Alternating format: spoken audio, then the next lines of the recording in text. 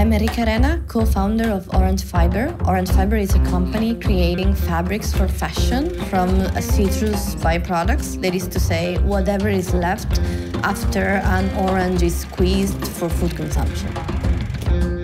The next step for us is to get a product and a process that is industrially scalable. And that requires funding and that requires building machinery and establishing partnership with um, players in the fashion industry. We noticed an increased interest and awareness in the fashion industry about sustainability.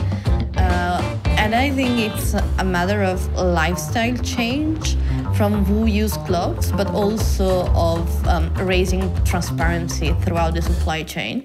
So I think uh, we are really going toward a more sustainable future for fashion.